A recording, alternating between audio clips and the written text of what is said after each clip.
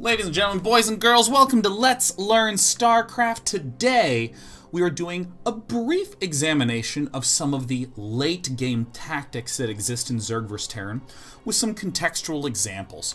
We've done thus far in the Zerg vs. Terran matchup as we spent some time talking about the core strategy that exists in the game.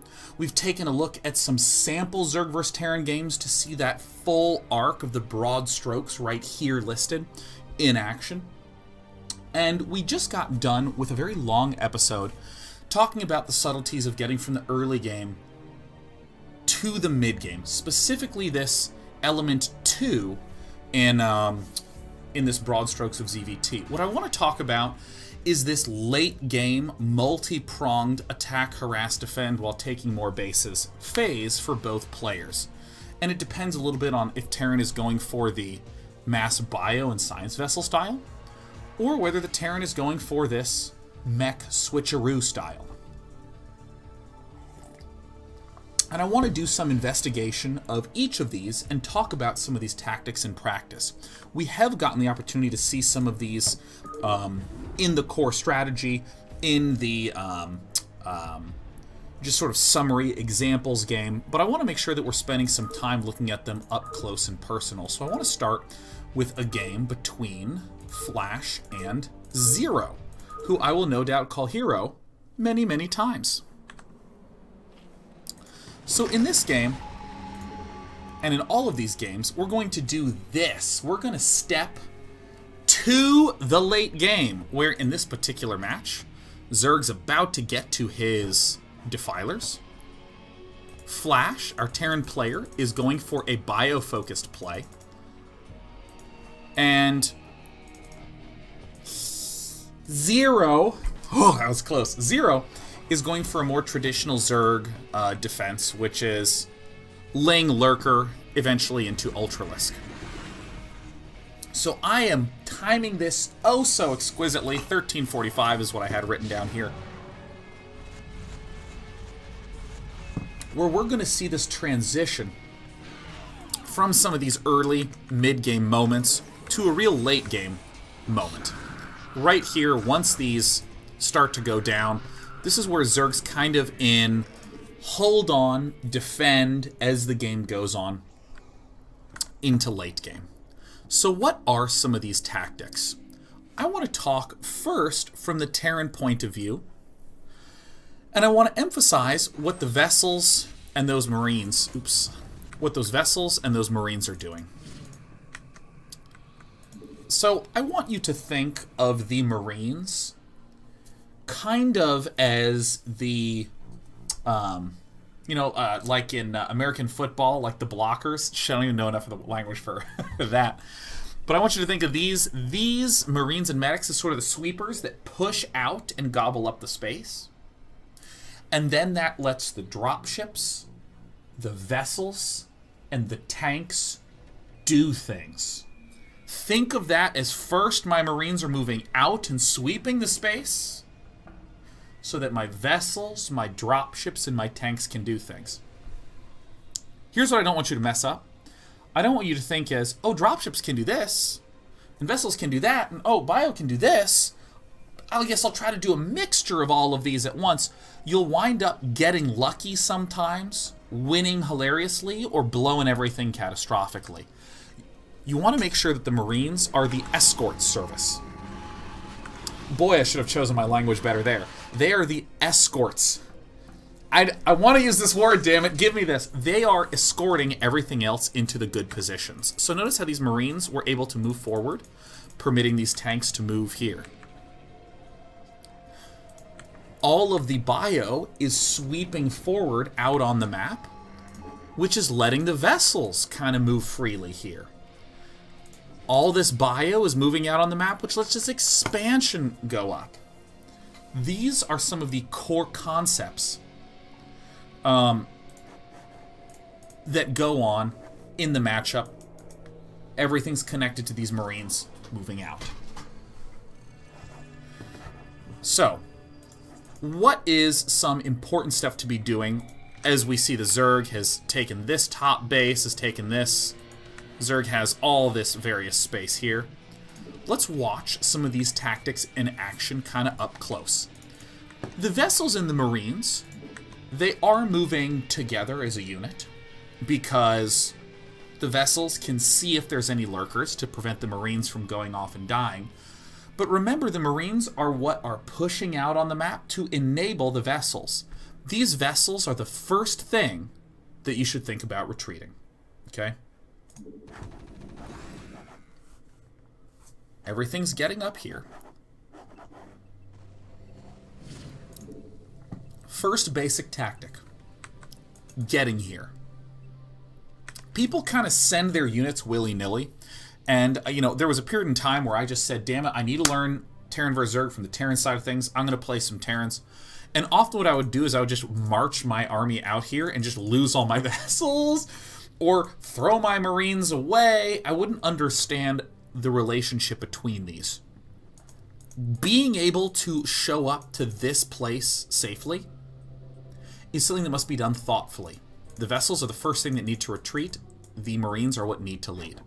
Now that you're here, you can begin to say, what are some of the basic tactics I can do here? Most basic one is irradiating these defilers. Always irradiate defilers first, if you can. You're looking to just eat up that time. I'll talk a little bit more about the Zerg vs. Terran tactics in the late game versus bio in a moment. But suffice to say that this is why the Terran forces are so far forward. Zerg wants to do these little counterattacks. If, if we look at this, there's three Lurkers, there's less than 12 Zerglings, and there's one Defiler. This is a small investment for Terran or for Zerg in the grand scheme of things. This is like 450 gas and some Zerglings. It's not even that much larva. One hatch could produce this in less than a minute. So What's powerful about this type of move for Zerg? Well, if Zerg could place this Dark Swarm and these Lurkers here, as we have seen in previous Zerg vs. Terran strategy videos, if Zerg can place that here, Terran loses this expansion. Or at the very least, Terran has to lift off this expansion for a minute. So you heard me say step one of late game Zerg vs. Terran is moving out on the map. Why are all these forces here? So that Terran can siege retreat and uh, prop himself up here, which is still a long ass ways from this vulnerable expansion.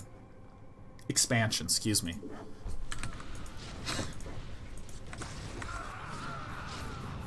So these are the types of losses that are not really losses. Obviously, retreat and save what you can. Obviously. But Flash wants to both push out on the right side of the minimap and push out on the left side of the minimap.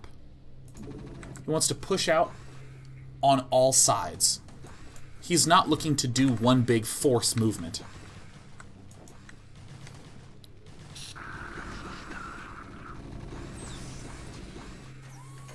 Sieges himself right up here. Okay. we see once again Flash establishing space with Marines, establishing space with Marines, following with vessels, and getting a scan to try to see what's here. There's something that is hilariously simple about watching Flash play and watching really good Terran players play. When you watch okay Struggle Bear Terrans play, they're trying to do a lot of different things at once. There's a drop here and a drop here. And they're trying to micro at the front and have two vessels harass an expansion. There's like five different points of action. Often when you watch Flash, he is doing one large point of action. And he's doing it very strongly. And I want this to sort of sink in for you to see this from the Terran perspective in this game. So Terran is only really here. He's doing these scans. The Marines, notice the Marines came here first. The scan showed up, and only now are the vessels really moving forward. And now they're looking for this very juicy Defiler. Looking for other juicy targets. And in terms of the points of attack, Flash is really drilling this hard. Now, the main reason he's able to drill hard here is because there's no more lurkers. He killed off the lurkers. Yes, the Dark Swarms are there, but there's Zerglings under there. Run past them and just take out the buildings. Uh, in case you didn't know, buildings are not affected by Dark Swarm, so you can just always deal damage to buildings. Vessels are here to pick off any incoming defilers, such as this one, see that this cool tactic? Vessels irradiating one another to be able to um, kill off the drones? Cool.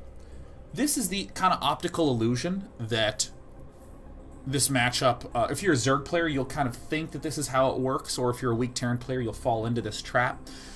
This looks like Terran doing vessel stuff here, Marines hitting this base here, all sorts of different things happening. This is really one attack where Terran's going hard.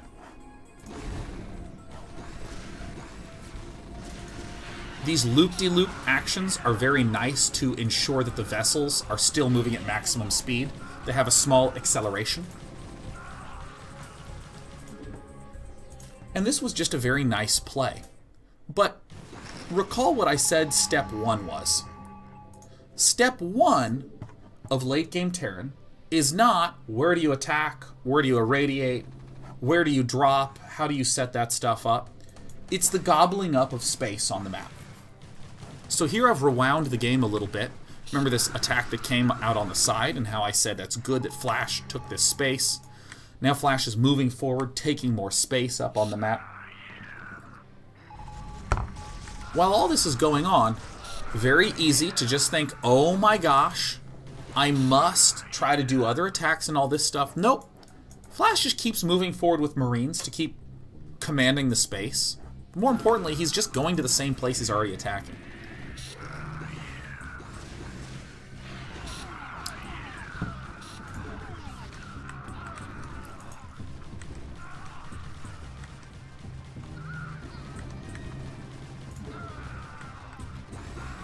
So pulling back to try to pick off as much as he can. Trying to finish off this hatchery. This is great. As much as it is fun to talk about the offensive stuffs that's going on, look at this cool micro, this cool micro, all this stuff. Taking expansions. Taking expansions. Continuing to rally out, move out. Look, all the Marines are moving out. Forward position. Marines far forward. Marines are the, the, space gobblers. They're the escorts of this matchup, escorting tanks and dropships and other great things. Whereas a slightly weaker Terran player may have tried to do drops in other places. Flash has just continued to hit one spot because he sees that there's weakness. He just bangs on one spot till it breaks down. You kind of function like the big bad wolf is Terran in this matchup, man. She's going to huff and puff and blow the front door down. So great. Let's look at some other very key things that are going to happen right now. Keep in your mind, gobbling up space is Terran. Drilling one spot hard instead of multiple spots weakly. Okay, so Flash drilled this spot so hard that he managed to kill it off. I mean, Zerg's going to be able to rebuild because Dark Swarm, you just throw it down, no problem. Flash leaves Marines and Medics outside the front because he wants to just hold this space. He is pushed all the way far forward. Sometimes, um, actually, I'm a fan of leaving one control group here. Like, or 10 Marines, like enough that you can box select them. This sort of thing. And let's look at what Flash does now. Flash is looking to continue to apply pressure as much as humanly possible, so he's going to move over to the right side. Marines moving in first, the escorts for the vessels. This little scan seems extraneous. It, it, why scan? We already have the detection here, right? Just seeing a little extra space here is great. These scans from Flash, they're almost just natural. It's like, I'm pretty sure I can attack this. Let me just check a little ways before. He's not trying to get some slick spot your hidden unit scan. He's like, I'm literally to be there in five seconds. Is this a good idea? Scans for it. Spends no energy on Irradiate. He doesn't need to. Irradiate is a important resource to manage. Look at this. No irradiates. No irradiates. Two irradiates. One irradiate. One irradiate. Only like four or five irradiates. I lost count because I suck at adding small numbers together in a short period of time. Just ask anyone who watches my Hearthstone stream. The Marines kind of escorted everything forward. And you've been hearing me say just drill one part hard, drill one part hard. Think of it like this. If you're Terran and you're devoting almost all of your focus to one location, Zerg is going to have to also devote almost all of his focus to that one location. And then you will see what he has and you can make the decisions that are best there. So that's why these vessels are moving way the hell forward, because Terran can just see what's going on. Oh, look, defilers. Nice, let's just kill those. We're going to rewind 45 seconds and just see the incredible elegance of this idea. If you're going hard in one location, you can just make the decisions, because it's very likely that your opponent is having to commit a lot of resources there too. Terminus Thrall, good to see you.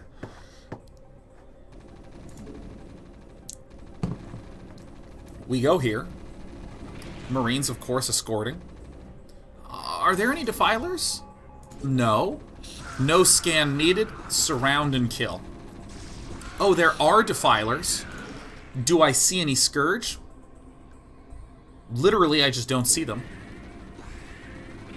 Uh, you know, let me just keep going. I still just don't really see any Scourge. I see like some slow Hydras. Okay, cool. Small judgment calls made. Small judgment calls made back to back to back to back.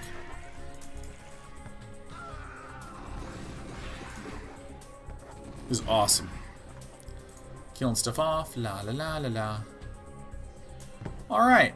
I think that was pretty good. I think we did some damage over here. I recall Zerg was taking an expansion in this location.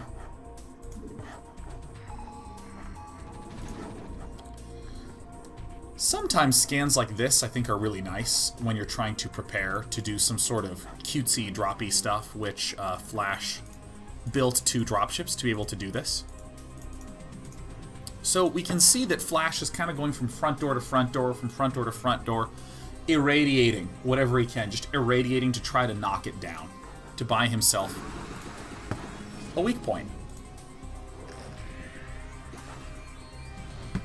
If the Marines weren't here, the Defiler wouldn't have to be here. Because the Marines are there.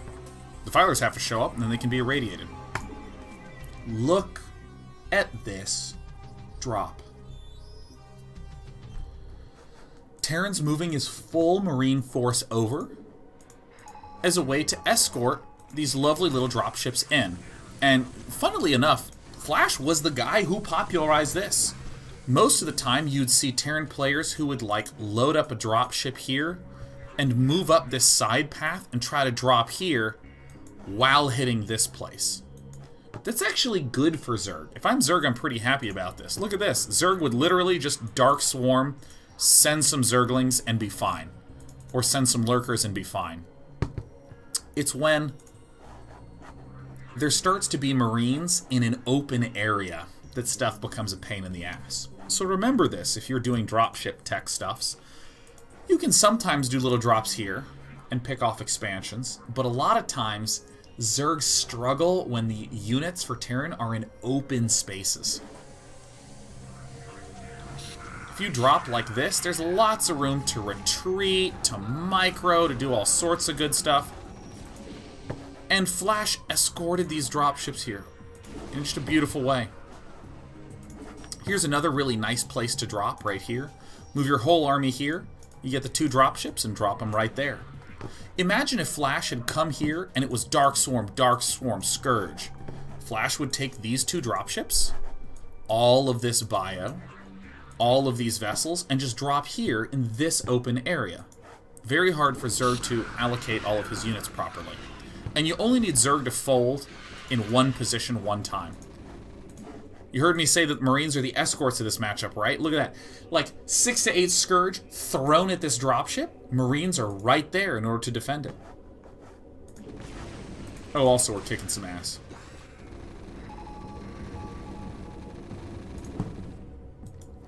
I'll talk about the tactics that we're seeing out of Zerg here in a moment, because they're great too. I actually literally do not remember who wins this game. But, same old, same old. Moving forward. Alright, we got some lurkers here. And... Yeah, there, there's absolutely no defilers here at all. There's a nice little move that I actually don't recommend you do too much. But fire bats do full damage under Dark Swarm. And so you can defensive matrix some fire bats and run them in.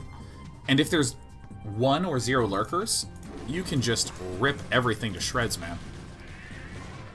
But fire bats also die pretty quickly anyways. Yeah, some cheesy droppy stuff. That's annoying. I want you to appreciate the counter response from Flash here. There's a drop with Dark Swarm and obnoxious stuffs in the main base. Flash continues to push out. Look at this, just trails of Marines moving forward across the map. And for the most part, Flash has just bounced from here to here repeatedly. This is good late game biotactics from Terran. This is just good, solid late game biotactics.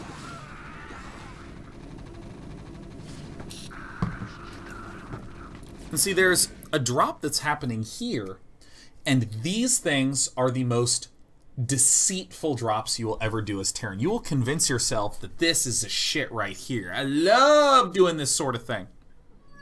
These are only okay you need to be in a good enough position to where it's okay if you lose these. Because so often, if you do this quickly, the Zerg player will be like, yep, I already have two Defilers, three Lurkers, clean that shit up, no problem.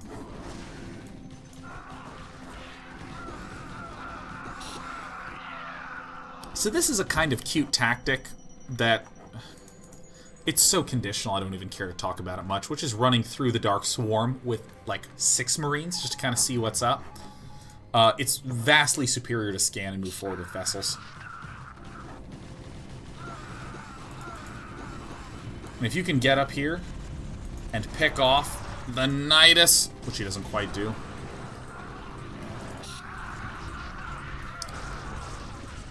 then that can be tremendous. But it's amazing how, if you are doing a good job of moving forward aggressively, this is most of the Zerg army. Like, if I go to full vision, that's mostly it. And this is a 5-2 Ultralisk. I mean, this guy is hard as hell to kill.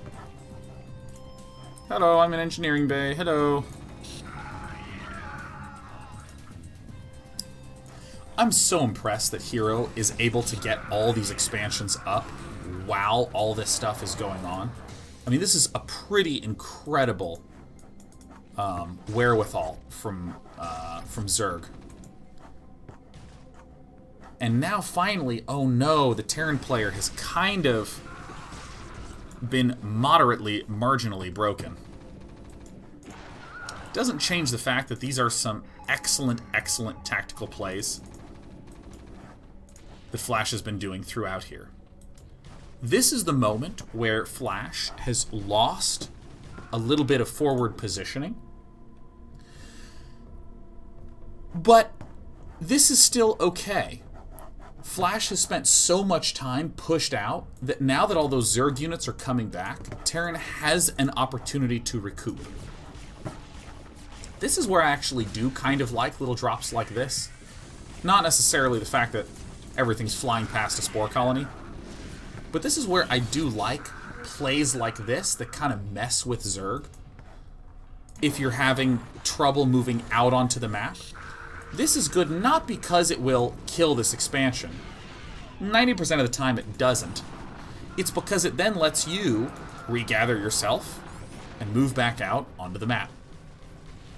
If you looked at the situation and said who is ahead or behind, Uh, a lot of Terran players would feel really, really bad intuitively looking at this due to just how the minimap looks. Because, God, if it's like Dark Swarm, Army, Dark Swarm, oh my god, I'm going to lose all my production, right? It's a few Dark Swarms away from death. Flash has quite a nice advantage, though, with all these bases in the bottom side, this base in the middle, and way, way more importantly, enough units to begin a big push back out to scoop up space into the map. I actually find this moment to be, like, really funny. because Flash, after just non-stop attacking this top left area, regathers some troops together and begins to go attack that top left area. Again. Zerg lost focus a little bit here. Totally okay. That shit happens. See how different this feels? This is why it's so important to stay pushed out to the other side of the map. I really think the biggest reason that Hero was doing so well is that Hero's just been playing incredibly.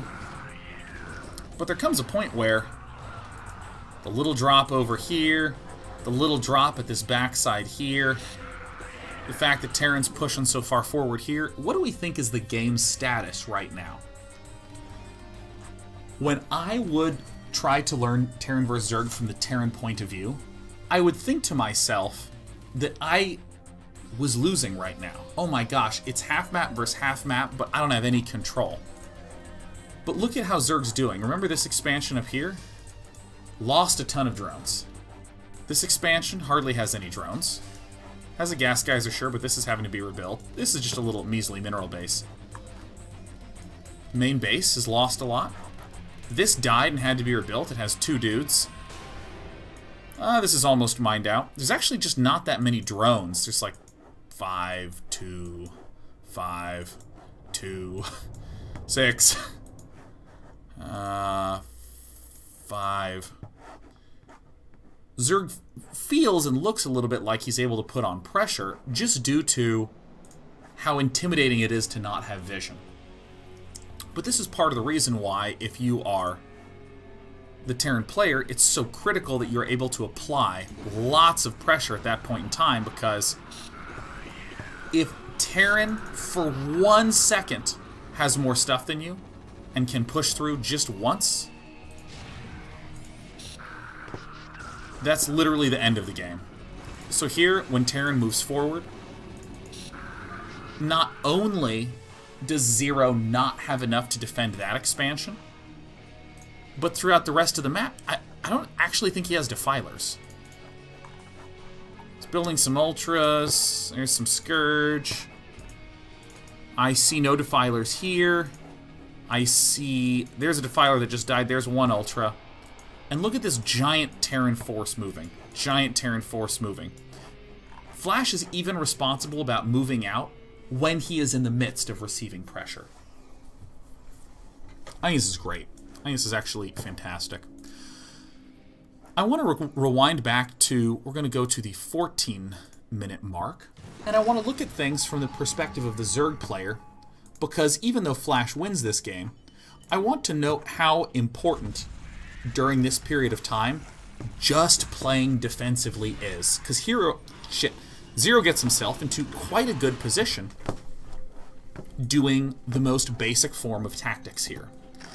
The first one is pretty good amount of lurkers. You can defend a thin ramp with two or three lurkers. Once you get onto the open, you need minimum four. So we got a minimum of four lurkers here. Great. One Defiler and Lurkers built in. Often this Defiler will hang back here with some Scourge in between. Similarly, we have some Lurkers here. And a Defiler held back. So much of the tactical play from Zerg takes two forms in the late game. One is, am I building a Defiler in each location? Cool. I actually tried to count. I try to say, I have two defilers now. All right, I'm going to build two more. I have four defilers now. There's little tricks to this where if there's a hotkey you don't use very much, like control zero, you can hotkey every defiler you have as zero just to be able to count. You don't ever go zero A. You don't ever use the zero hotkey to attack, but you want to try to keep a count of how many you have to make sure you have like one or two here, one or two here, and that's enough. Anytime you start to get an excess of units, tiny counterattacks are good. And in particular, these are guerrilla ass counterattacks. These are working around the edge of the screen. These rarely ever want to go through the middle of the map. They're trying to find a spot where Terran is weak. Because if at any point Terran ain't paying attention, that's good game. We'll see a beautiful example of this in a really quick game of Hero, not Zero, Hero versus Haya.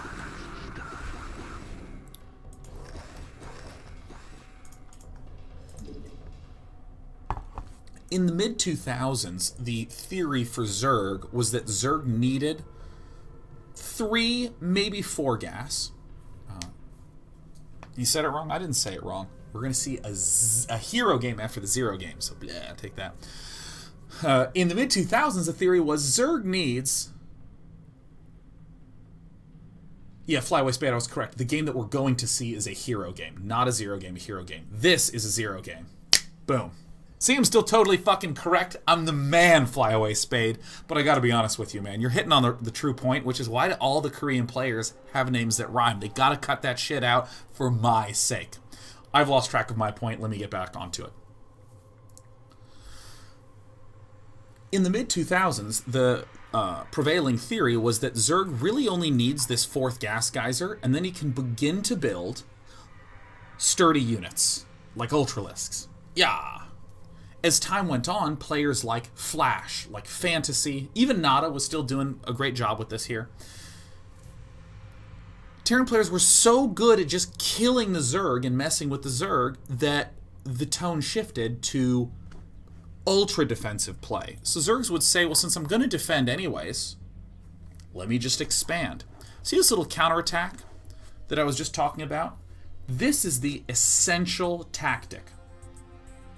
Sometimes it lets you walk to his base and kill it off. The rest of the time you've gained space. Gain space, take a base. No problem.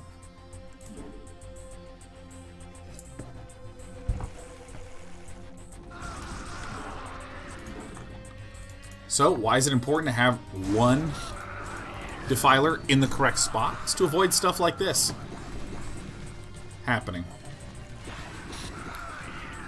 You'll see also why the Nydus Canal is often nearby the workers. It's to be able to run the workers away. I have seen some players say, ah, if I can get a Nydus from here to here, I don't need one in the main base. You're wrong. You need one in the main base.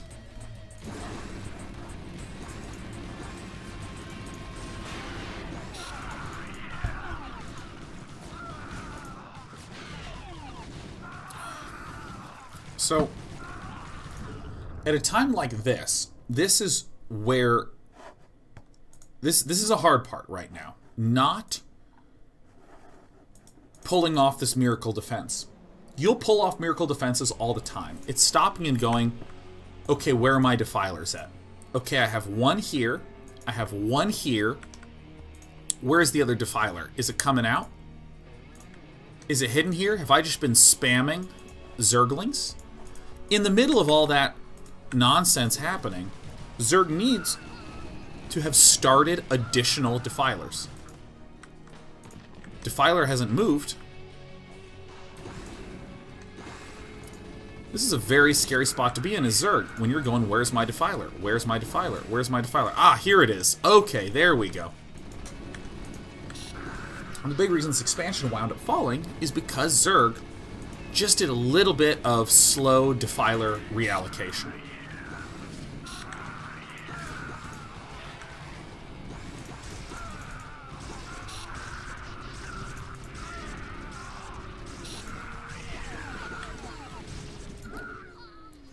I totally just watched fight for a moment and lost track of what I was thinking about. But anyways, um, the uh, while all this is going on, the fact that Zero's able to establish another expansion is awesome. If I'm going to be defending, let me continue to get valuable things to defend. What's this second Nydus Canal about? Second Nydus Canal from here to here, making sure there, there is a double Nydus defense here, because it is so easy to just lose this base. And instead of saying, okay, I'll just get this fourth gas and then I'll go for Ultralisk, there's a few key things that Zergs have changed to do differently. One is heavy plague usage. Throwing plague down on the vessels, throwing plague down on the marines, doing whatever can be done to just make this army soft and squishy as can be.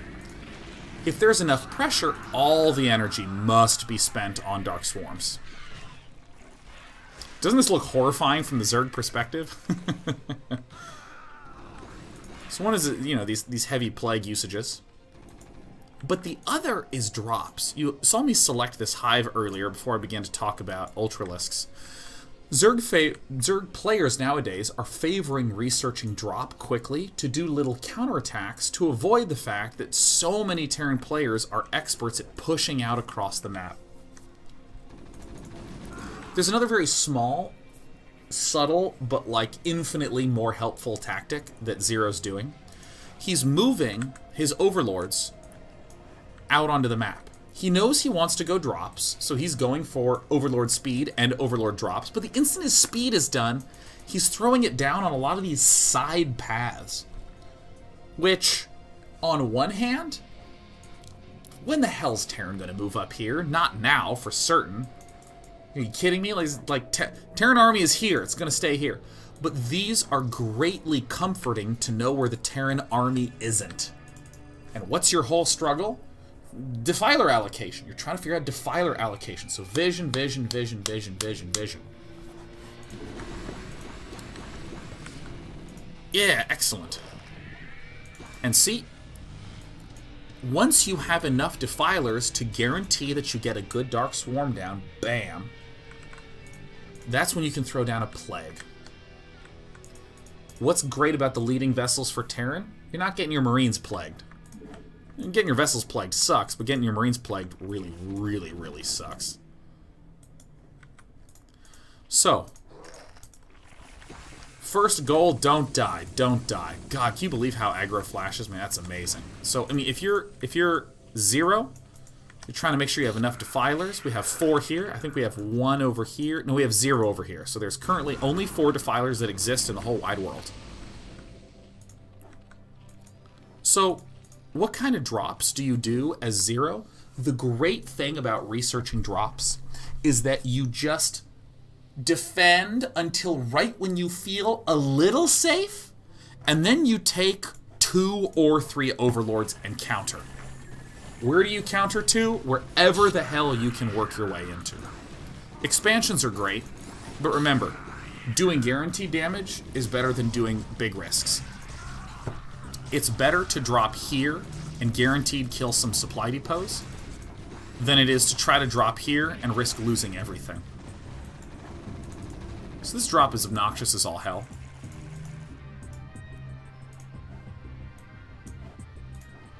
But the Defiler's just chilling here till the very instant he's needed.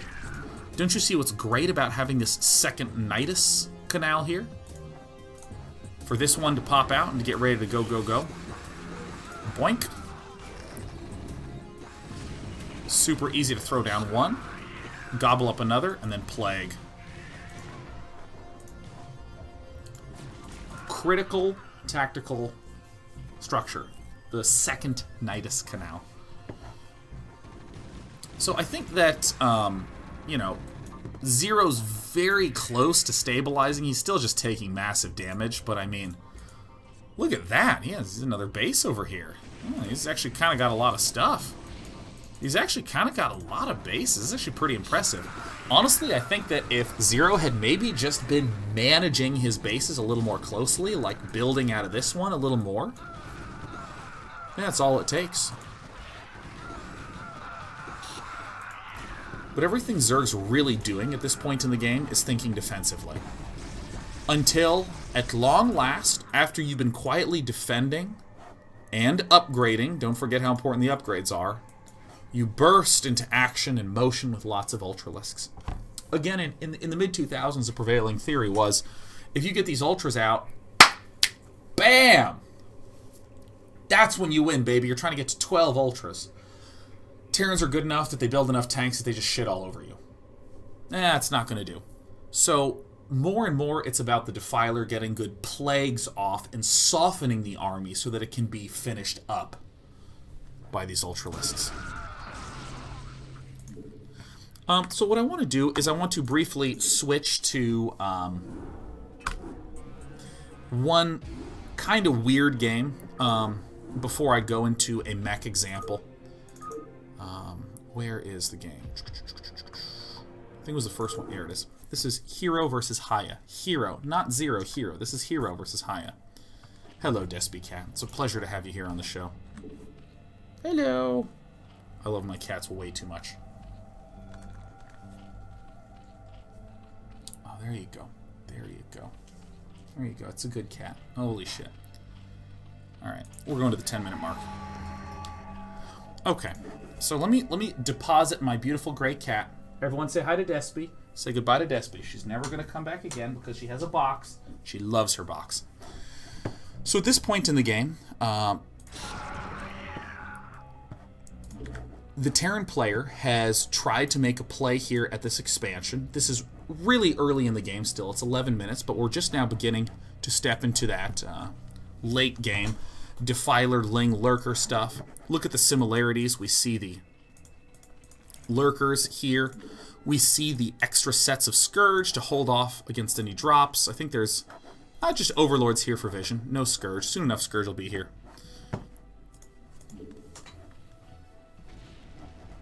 But once one of these areas is feeling safe, you heard me bring up the fact that uh, little counterattacks are great. I think Terran hardly has any science vessels right now, but, you know, it's fine. Alright. This is pretty surprising to me that Hero actually had the ability to do this in this game. Hero literally just hugged the left side of the map and walked up here. And then got to just walk to the entrance. He just goes to the expansion just burrows. Look at this shit. I don't believe it. This is rare, but not as rare as you'd think. It's not as rare as you'd think. This actually happens in each game that you play. You'll probably be able to get this to ha happen zero or one times in most games.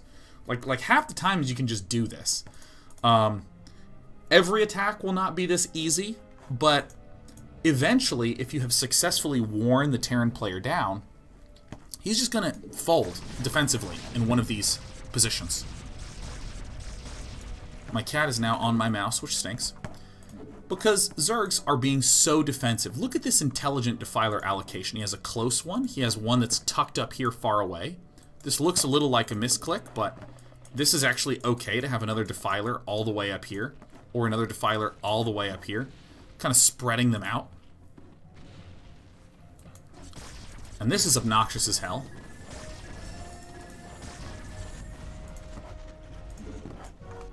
What do we see over here?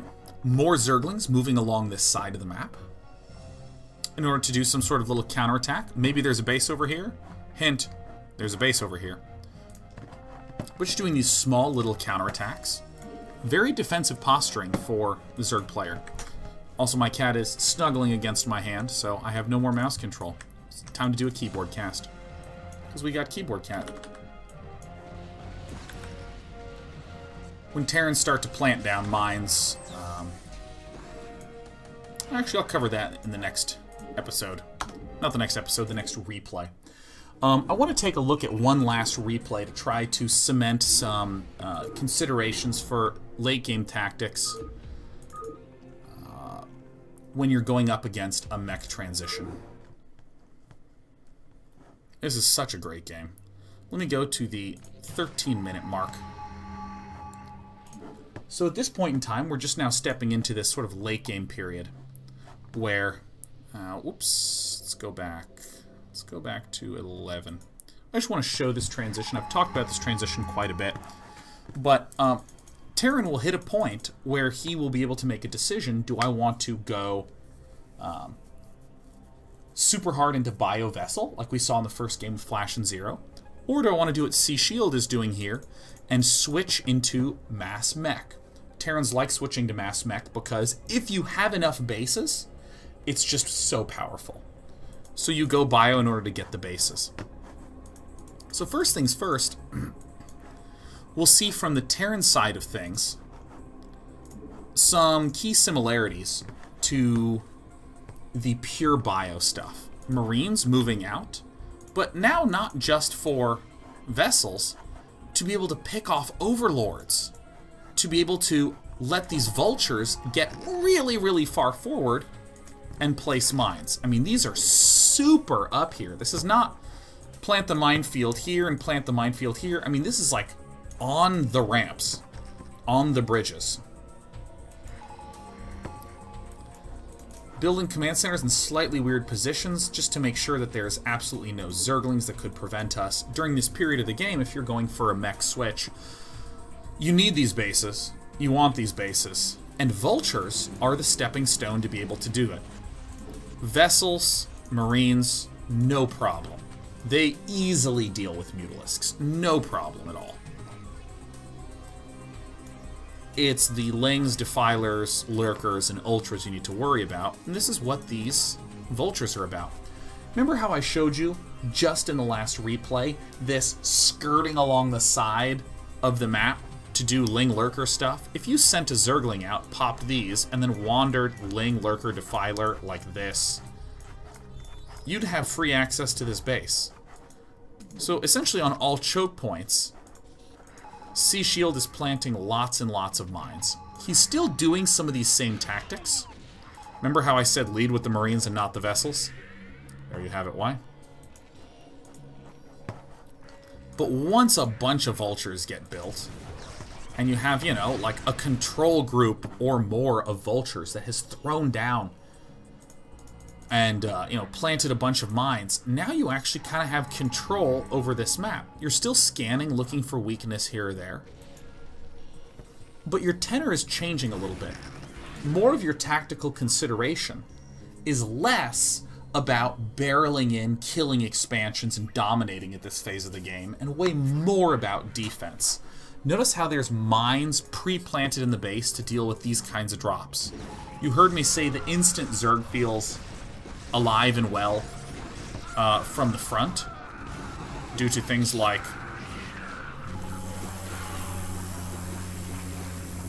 due to things like this Zerg feels alive and well at the front and so Zerg's gonna do drops like this.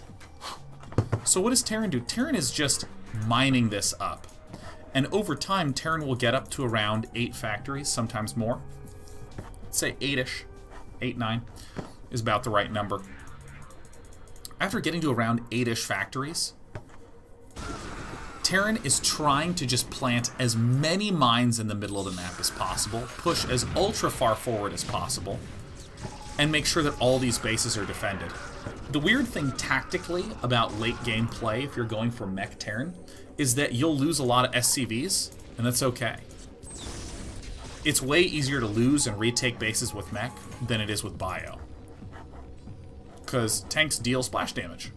So they deal damage under Dark Swarm, and mines deal full damage under Dark Swarm. His base took a beating, no problem. Mines. You know what? I think another base is in order. Let's go ahead and take that. Boom. Eventually, Terran will have a large enough force by building off all of this stuff to be able to uh, maybe make attacks at expansions but there's a key difference between the attacks that a Mech Terran player is doing. Mech is not trying to kill this or this or this or either of these. That's what a bio player is trying to do. A bio player is trying to hit you in many, many places until one crumbles, and that way Zerg never gets powered up. Mech kind of lets Zerg power up. Mech is trying to deny this space, this space, on the right and this base here. That's it. You're saying my 5-6 base Terran will beat your 4-5 base Zerg. Let's watch that play out. So it's weird. It's this be aggressive to push out, scoop space on the map, and then use that space not to attack, but to expand and defend. And try to get as many damn bases as I can. By the way, this is exactly why these Zerg drops that I've been talking about are so popular and strong. Because shit like this is so obnoxious. So look, few tanks, some Goliaths, a lot of mines, science vessels, do that. Starport's still working overtime, producing science vessels this whole time. Never stop building science vessels, dude. Little drop here, yeah. It's kind of whatever. Look how many mines are here. Mines, mines, mines. Yes. This does look quite a bit like Terran is being super aggressive. You have the option, once your tank count is getting high enough, to attack. You have this option. But I'd more so note how capable you are of defending.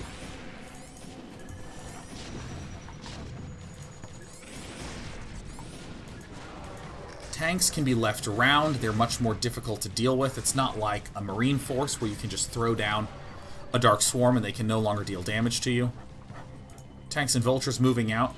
The big concern I would have for Terran right here, not enough mines on this side. Just not enough mines. Lurkers are way worse against mech units. Zerglings are taking splash damage against mech units. See, there's there's no vision here. There's nothing nothing at all. And that is where Terran winds up having points of weakness, is when they don't see these huge masses of Zerglings just flooding in.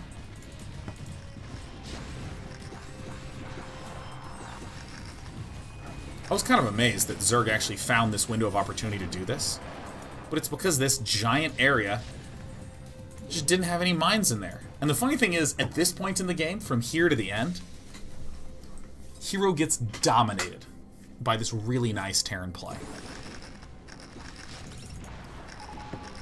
The key word I want you to think about here is defensive. Terran has the whole map, but Terran is saying, I'm going to defend on 5 base. I already have 3. Once I clear this up, I'll just land this stuff, and I'll be fine. Mines and tanks dominate Ling Ultra. It's going to march everything here. Uh-oh, big gaping defensive hole. That's bad. We're going to want to mine that up very quickly. Huge attempted push in here. Dark Swarm will go down. It does not matter. Because tanks deal splash damage, they deal damage under Dark Swarm. And it's kind of fun for, you know, if you're Terran and you spent years and years and years and years and years and years and years and years just trying to do crazy marine tactics, getting shut down by a plague or a dark swarm over here, having this is like a real breath of fresh air you're actually building masses of units. Four, five factories producing tanks. Five base. Okay. Terran never really needed to kill this. Terran never really needed to kill this. Very different goal. It's denying this base, denying this base, and denying this base. So now Terran's just, once again, in a defensive posture. Very different, right? Like, bio play is all about, like, pushing out and then attacking and irradiating and dropping and trying to be as annoying as possible. This is like full map control.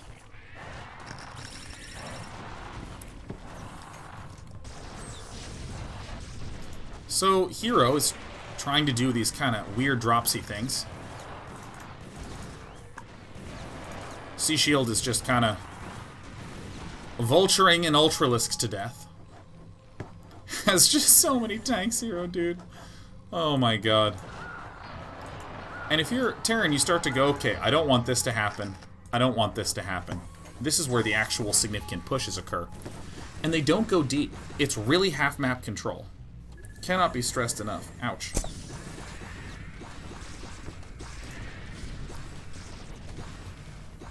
And so the goal that Zerg needs to do is nearly what Hero's doing this game. Nearly, nearly, nearly, nearly. Zerg just needs to have more bases faster and be pressuring weak locations with Ling Ultra. For a long time, this bottom left area was really getting pressured good by Ling Ultra. But now, at this point in the game, Sea Shield just needs to kill this. Big pushes by Zerg, oh me oh my. Zerg is just never breaking through this. This actually happens very slow and methodically. Very different from the quick, incisive movements of the Bioforces. More mines getting planted. Zerglings, we looked at in the core ZVT strategy. They're a little bit better at pushing through these tank vulture fields than any number of Ultralisks are. It's a short hop, skip, and a jump to be able to get just barely in range of this expansion. That's all that needs to be done. So this fifth base is looking kind of hard to hit. That's okay. We'll, we'll let Zerg have that fifth base. We're just going to push here and try to deny this while we build command center to take this base.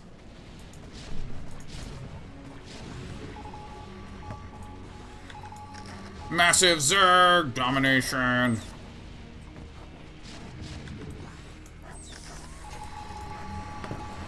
And this is why I find this to be such a technical and difficult matchup for Zerg. Zerg does not have pretty much any units that are good at fighting against these forces.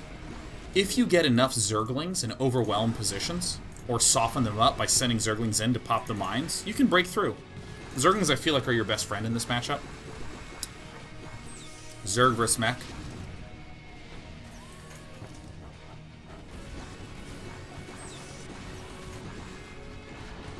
And I gotta be honest, I'm not talking at this point because it's it's just kind of the same thing. It's just allocating a lot of tanks here, sieging them up, making sure that the production is good. We have lots of tanks in good positions, and then we're just trying to plant lots of mines, plant lots of siege tanks up, and be in good defensive positions. The more that we'll do real game analysis and look at real games, the more we'll get the opportunity to look at specific tactics and see how they are you know, changing the game and causing it to evolve and all that good stuff. But for the purposes of this specific game, bye guys. For the purposes of this specific game, do I have a splinter? Terran is just continuing to keep this mindset different. Not trying to attack and to kill off bases and to pressure and to weaken until eventually Zerg crumbles on 3 to 4 to 5 bases. No, you let Zerg do that, whilst you take the whole damn map. Really kind of a cool switcheroo. I likes to watch it.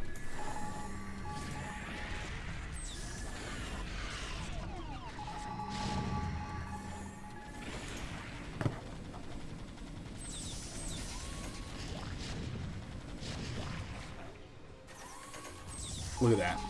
Just walking over here, picking off this expansion. I'm going to skip forward just a little bit because it's a little bit more wandering around. Oh yeah, Terran even takes this expansion, just continues to defend. And I get so frustrated playing against a Terran player when I'm in this spot as Zerg where I've spent 40 minutes just mining and 1Aing and I just cannot get another base up because Terran just cut the whole map in half, moving left and right with all sorts of tanks. God, tanks are such a good unit. Alright. That was, was a little longer than I expected we'll have to work on my timing for later episodes, whatever. We got to talk about ZVT. So the the real takeaways that I want you to glean that are different from Mech is what I was saying at the end. It's a much more defensive mindset, a much less attack-focused mindset. On Thursday, I will not be doing a show because I will be down in Los Angeles because the Brood War Zotac Remastered Cup will be getting cast by me, InControl, Tasteless, and Artosis. So look forward to having you tune in for that over the weekend. And then I'll be back next week for some more Let's Learn StarCraft episodes. I'm leaving you. I'm leaving you. Goodbye. Woo!